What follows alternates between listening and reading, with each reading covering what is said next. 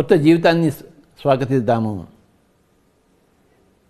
రాక్షసత్వం పోగొట్టుకుందాము.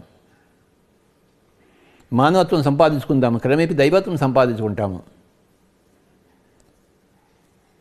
రాక్షసత్వం నుంచి మానవత్వంకి వస్తే ఆ మానవత్వం దైవత్వం రావడం చాలా పో చాలా తేలిక. రాక్షసత్వం పోగొట్టుకోవడమే కష్టం.